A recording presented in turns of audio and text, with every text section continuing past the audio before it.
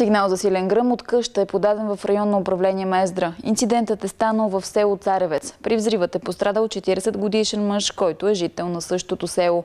Служителите на реда са извършили оглед на място и са разпитани свидетели по случая. Образувано е досъдебно производство.